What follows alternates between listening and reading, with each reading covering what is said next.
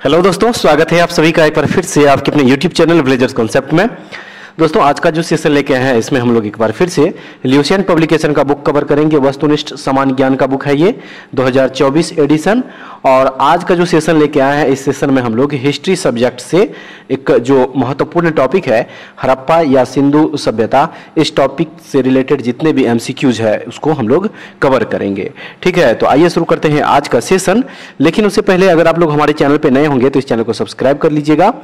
और फ्रेंड्स इस बुक का हम लोग जो है पॉलिटी सब्जेक्ट से महत्वपूर्ण टॉपिक को भी कवर किए हैं। इससे पहले जो है उसका तीन क्लास लिए हुए पॉलिटी का। अगर आप लोगों को उसका वीडियो देखना है तो इस वीडियो के डिस्क्रिप्शन में उसका लिंक यहाँ पे दिया गया। आप लोग यहाँ से देख लीजिए, या फिर हमारे चैनल के प्ले में भी जाके आप लोग उस वीडियो को देख सकते हैं। अगर आप लोगों को इसका पीडीएफ चाहिए तो हमारे टेलीग्राम चैनल से जुड़ जाइए, वहाँ से इसका पीडीएफ भी आप लोगों को मिल जाएगा, ठीक है? तो चलिए शुरू करते हैं आज का सेशन और देखते हैं हरप्पा या सिंधु सभ्यता से रिलेटेड जो एमसीक्यूज दिया हुआ है उसको। तो इस क्रम में जो सबसे पहला क्वेश्चन दिया गया है इसमें वह है, हरप्पा सभ्यता का सर्वाधिक मान्यता प्राप्त काल कौन सा है?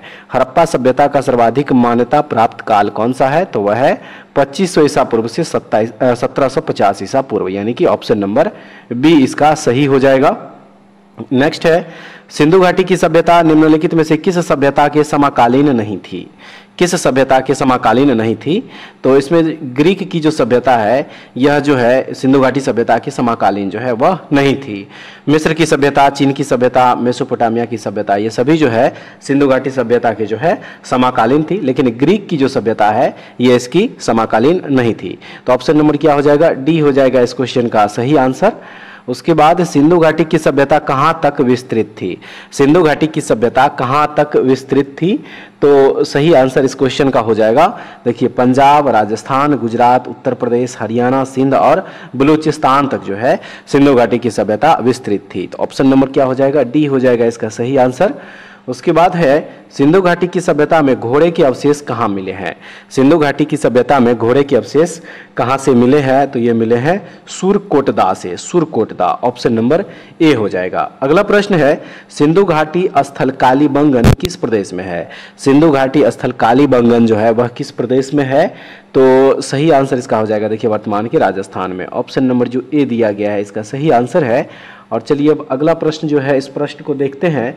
दिया है इसमें कि निम्नलिखित में से किस पदार्थ का उपयोग हड़प्पा काल की मुहरों, यानी कि मुद्राओं के निर्माण में मुख्य रूप से किया गया था? किस पदार्थ का उपयोग किया गया था? तो फ्रेंड्स, इसमें जो है, सेलखड़ी का प्रयोग किया गया था। ऑप्शन नंबर ए है सही। नेक्स्ट क्वेश्चन है हड़प्पा सभ्यता किस युग की थी? हड़प्पा सभ्यता किस युग की थी? तो यह कांस्य युगीन सभ्यता थी। ऑप्शन नंबर ए इसका सही आंसर है। नेक्स्ट क्वेश्चन है, सिंधु घाटी सभ्यता के लोगों का मुख्य व्यवसाय क्या था? सिंधु घाटी सभ्यता के लोगों का मुख्य व्यवसाय क्या था? तो इसका मुख्य व्यवसाय था व्यापार। ऑप्शन नंबर ए है।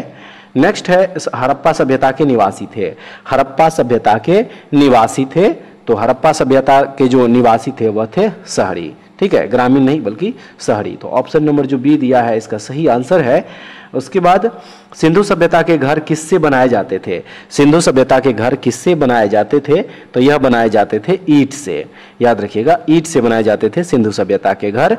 अगला प्रश्न है, हरप्पावासी किस वस्तु के उत्पादन में सर्वप्रथम थे? हरप्पावासी किस वस्तु के उत्पादन में सर्वप्रथम थे? तो ये लोग जो है, देखिए, कपास के जो उत्पादन में जो है, ये सर्वप्रथम थे। ऑप्शन नंबर क्या हो जाएगा? सी, इसका बिल्कुल सही है। और अगला प्रश्न है, निम्नलिखित विद्वानों में से हरप्पा सभ्यता का सर्वप्रथम खोजकर्ता कौन थे? हरप्पा सभ्यता का सर्वप्रथम खोजकर्ता कौन थे? तो वह थे दयाराम साहनी। दयाराम साहनी के द्वारा ही जो है हरप्पा सभ्यता की खोज करी गई थी। तो ऑप्शन नंबर जो डी है, इसका बिल्कुल करेक्ट आंसर हो जाएगा। नेक्स्ट क्वेश्चन कह रहा है कि सिंधु सभ्यता का पत्तन नगर यानी कि बंदरगाह कौन सा था? सिंधु सभ्यता का पत्तन नगर यानी कि बंदरगाह कौन सा था? तो वह था लोथल, जो कि गुजरात राज्य में स्थित है। ऑप्शन नंबर बी इसका सही आंसर है। नेक्स्ट क्वेश्चन में दिया गया है कि पैमानों की खोज ने यह सिद्ध कर दिया है कि सिंधु घाटी के लोग माप और तौल से परिचित थे।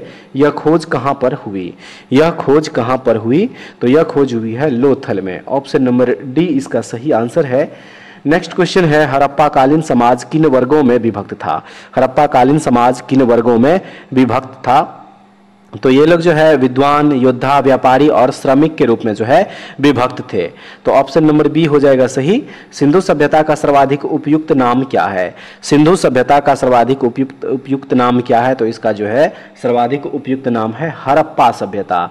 सिंधु सभ्यता को जो है हरप्पा सभ्यता भी कहा जाता है। तो ऑप्शन नंबर ए में इसका सही आंसर दिया गया है।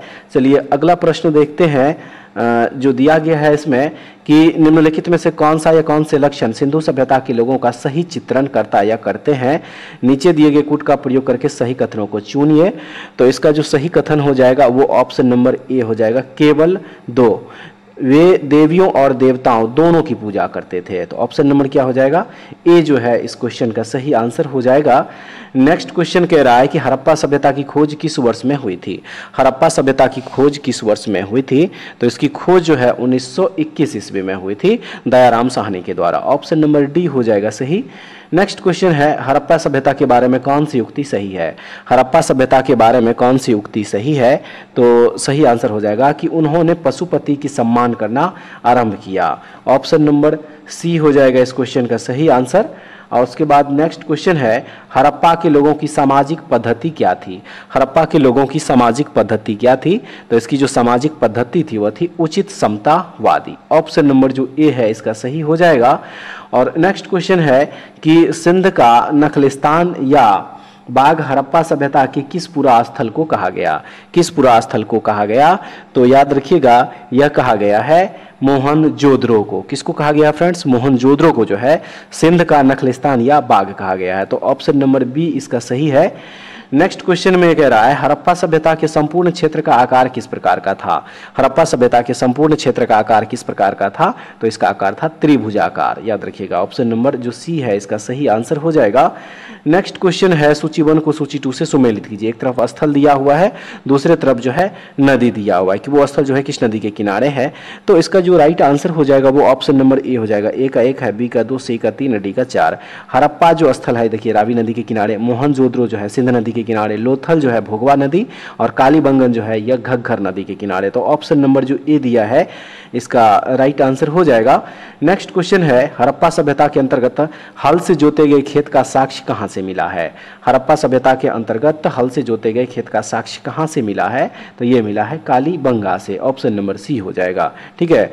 नेक्स्ट है, सैंधव सभ्यता की ईंटों का अलंकरण किस स्थान से मिला है? तो ये मिला है कालीबंगा ऑप्शन नंबर जो ए दिया गया है, सही है। नेक्स्ट क्वेश्चन कह रहा है कि मोहनजोदड़ो कहाँ स्थित है? मोहनजोदड़ो कहाँ स्थित है? तो याद रखिएगा मोहनजोदड़ो जो है फ्रेंड्स यह स्थित है सिंध में। ऑप्शन नंबर जो बी है, इसका सही हो जाएगा। नेक्स्ट क्वेश्चन है, सिंधु सभ्यता में बृहत स्नानागार पाया गया। सिंधु सभ्यता में बृहत स्नानागार पाया गया है कहाँ से? तो ये पाया गया है मोहनजोदड़ो में, जो कि ऑप्शन नंबर ए में दिया गया है, इसका सही आंसर। उसके बाद, सिंध सभ्यता, सिंधु सभ्यता की मुद्रा में किस देवता के समतुल्य चित्रांकन मिलता है? किस देवता का? तो राइट आंसर हो जाएगा। देखिए, आधे शिव ऑप्शन नंबर ए हो जाएगा। ठीक है फ्रेंड्स नेक्स्ट क्वेश्चन निम्नलिखित में से कौन सा हड़प्पा कालीन स्थल गुजरात में था? निम्नलिखित में से कौन सा हड़प्पा कालीन स्थल गुजरात में था? तो वह स्थल हो जाएगा। देखिए, लोथल जो है यह गुजरात राज्य में स्थित। ऑप्शन नंबर डी होगा।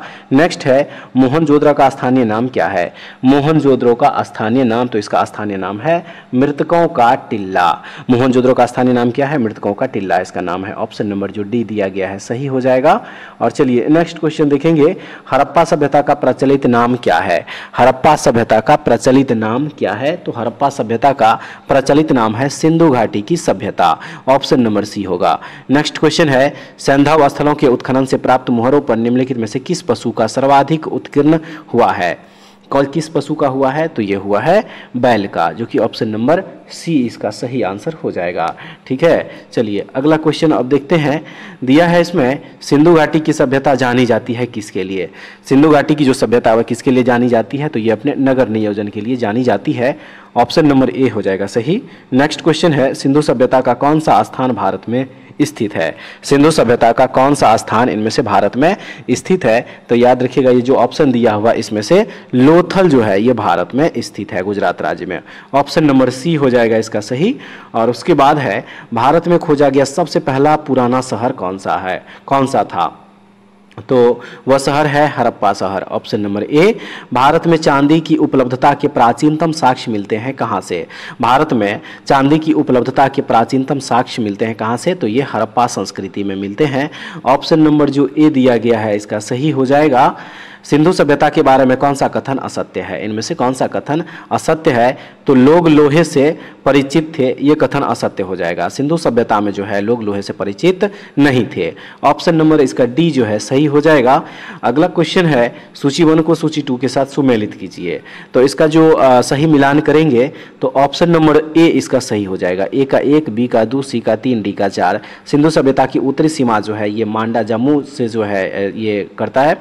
सिंधु सभ्यता सभ्यता की दक्षिणी सीमा जो ये दैमाबाद या महाराष्ट्र में है, सिंधु सभ्यता की पूर्वी सीमा जो है यह आलमगीरपुर उत्तर प्रदेश में है और सिंधु सभ्यता की पश्चिमी सीमा जो यह सुतका गंडोर बलूचिस्तान में। तो ऑप्शन नंबर जो ए दिया गया है, इसका सही है।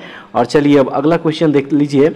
मांडा किस नदी के किनारे स्थित था? मांडा जो है, वह किस नदी के किनारे स्थित था? तो ये चेनाब नदी के किनारे, ऑप्शन नंबर ए होगा। नेक्स्ट हरप्पा कालीन स्थल रोपर पंजाब रोपर या पंजाब किस नदी के किनारे स्थित था? किस नदी के किनारे? तो यह स्थित था सतलज नदी के किनारे, फ्रेंड्स। ऑप्शन नंबर बी हो जाएगा इसका सही। उसके बाद हरप्पा में एक उन्नत जल प्रबंधन प्रणाली का पता चलता है। हरप्पा में एक उन्नत जल प्रबंधन प्रणाली का पता चलता है। कहाँ? तो ये धौलावीरा में। ऑप्शन नंबर ए है सही। नेक्स्ट क्वेश्चन है, हरप्पा के मिट्टी के बर्तनों पर सामान्यतः किस रंग का उपयोग हुआ था? किस रंग का उपयोग हुआ था? तो इस पर जो है लाल रंग का उपयोग हुआ था, फ्रेंड्स। ऑप्शन नंबर जो ए दिया गया है, इसका सही है सिंधु सभ्यता निम्नलिखित में से किस युग में पड़ता है? सिंधु सभ्यता निम्नलिखित में से किस युग में पड़ता है? तो ये आद्य ऐतिहासिक काल में जो है, ये पड़ता है। तो ऑप्शन नंबर डी इसका सही आंसर है। उसके बाद सिंधु घाटी सभ्यता की विकसित अवस्था में निम्नलिखित में से किस स्थल से घरों में कुओं के अवशेष मिले हैं? सही आंसर इसका हो जाएगा option number D Mohenjodaro से। ऑप्शन नंबर डी इसका राइट आंसर हो जाएगा फ्रेंड्स। उसके बाद जो है, अब अगला प्रश्न देख लेंगे। प्रश्न नंबर 45 में, दिया है सिंधु घाटी सभ्यता को खोज निकालने में जिन दो भारतीय का नाम जुड़ा है, वे कौन है? तो वे दो भारतीय जो है, वह है दयाराम साहनी एवं Rakhal Das Banerjee, Rakhal Das Banerjee. Option number A इसका करेक्ट आंसर है चलिए नेक्स्ट क्वेश्चन देखेंगे। रंगपुर जहाँ हरप्पा की समाकालीन सभ्यता थी, कहाँ है? तो राइट आंसर इसका हो जाएगा। देखिए, ये सौराष्ट्र में है ऑप्शन नंबर सी होगा। अगला प्रश्न हरप्पा एवं मोहनजोदड़ो की पुरातात्विक खुदाई के प्रभारी कौन थे? तो इसके प्रभारी थे sir John Marshall. Option number B है इसका सही आंसर निम्न में से किस पशु की आकृति जो मुहर पर मिली है, जिससे ज्ञात होता है कि सिंधु घाटी एवं मेसोपोटामिया की सभ्यताओं के मध्य व्यापारिक संबंध थे तो वह थे बैल। वह पशु कौन थे? तो बैल थे। ऑप्शन नंबर सी हो जाएगा। अगला प्रश्न, सिंधु घाटी के लोग विश्वास करते थे किसमें ये तो ये मातृशक्ति में विश्वास करते थे। ऑप्शन नंबर डी हो जाएगा। निम्नलिखित में कौन सा सिंधु स्थल समुद्र तट पर स्थित नहीं था? तो ये कोटदीजी जो है, ये समुद्र तट पर जो है स्थित नहीं था। डी, इसका सही आंसर है। निम्नलिखित में कौन मोहनजोदड़ो की सबसे बड़ी इमारत मानी जाती है? निम्नलिखित में से कौन मोहनजोदड़ो की सबसे बड़ी इमारत मानी जाती है? तो ये विशाल स्नानागार मानी जाती है। ऑप्शन नंबर जो ए दिया गया है, इसका सही है। नेक्स्ट क्वेश्चन देख लीजिए। हड़प्पा कालीन लोगों ने नगरों में घरों के विन्यास के लिए कौन सी पद्धति अपनाई थी? तो वह पद्धति थी ग्रेड पद्धति। ऑप्शन नंबर सी है इसका सही। और उसके बाद जो अगला प्रश्न हो जाएगा, प्रश्न नंबर तिरपन, इसमें दिया गया है कि सूची वन को सूची टू के साथ सुमेलित कीजिए और सूचियों के नीचे दिए गए कूट का प्रयोग करके सही उत्तर चुनिए। एक तरफ़ प्राचीन स्थल, दूसरे तरफ़ उसके पुरातात्विक अवशेष दिया गया है। इसको सही मिलान जो करेंगे तो इस क्वेश्चन का सही आंसर हो जाएगा ऑप्शन नंबर बी ठीक है ऑप्शन नंबर जो बी दिया गया, देखिए इसका बिल्कुल सही हो जाएगा।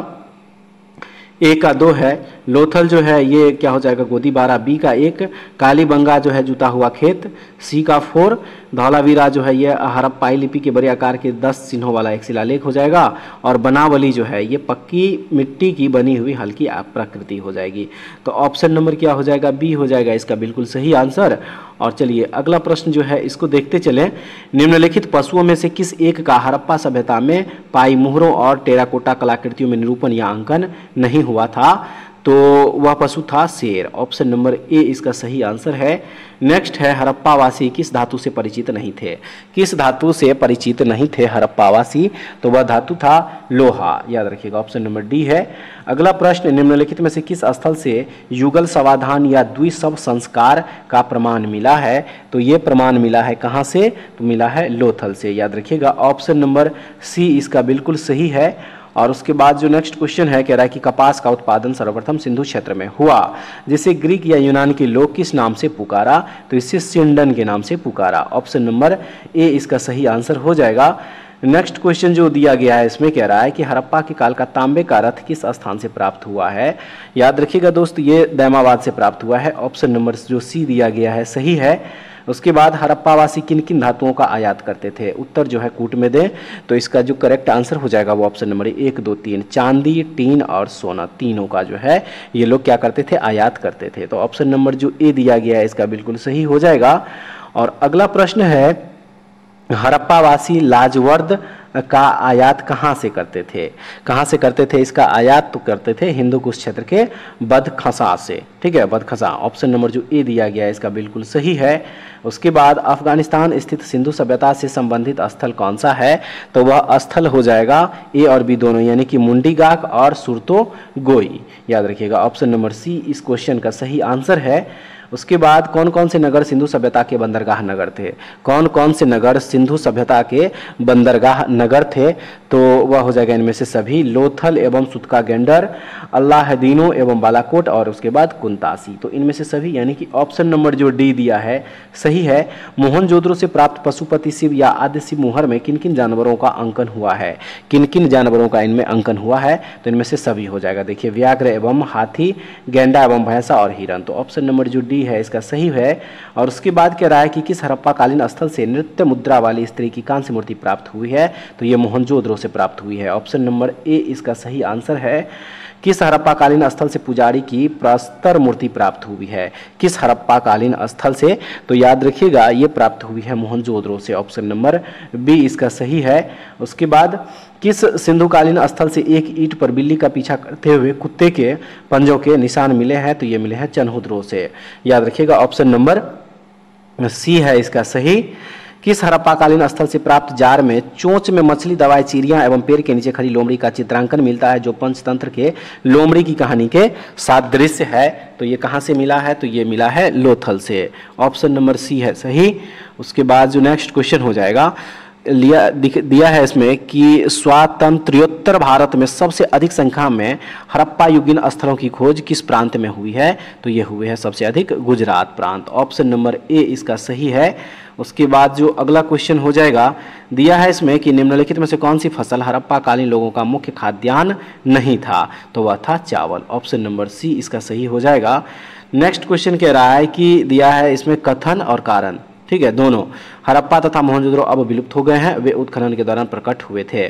तो इसका जो सही आंसर हो जाएगा, वो ऑप्शन नंबर ए हो जाएगा। ए और आर दोनों सही है तथा आर ए का सही स्पष्टीकरण है। तो ऑप्शन नंबर ए इसका बिल्कुल सही हो जाएगा। नेक्स्ट क्वेश्चन है सिंधु घाटी सभ्यता के संदर्भ में निम्नलिखित कथनों पर विचार कीजिए।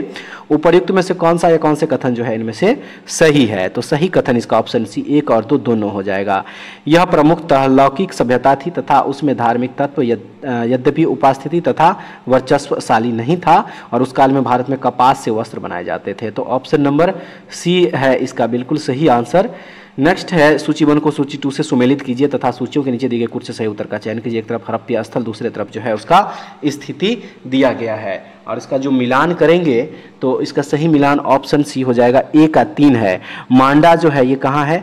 जम्मू कश्मीर। बी का चार दैमाबाद जो है, ये कहाँ? महाराष्ट्र में। उसके बाद सी का एक, कालीबंगा जो है, कहाँ पे? राजस्थान। और राखी गढ़ी जो है, ये कहाँ पड़ता है? किस क्षेत्र में स्थित है ये? तो ये हरियाणा में स्थित है। तो इसका जो है, क्या हो जाएगा? ऑप्शन नंबर सी इसका बिल्कुल सही हो जाएगा। और चलिए अब अगला प्रश्न जो है, इस प्रश्न को देखते हैं। इसमें है हड़प्पाकालीन स्थलों में अभी तक किस धातु की प्राप्ति नहीं हुई है? तो लोहा की प्राप्ति नहीं हुई ऑप्शन नंबर डी है सही आंसर आ, किस पशु के अवशेष सिंधु घाटी सभ्यता में प्राप्त नहीं हुए? तो इसमें घोरों के अवशेष प्राप्त नहीं हुए।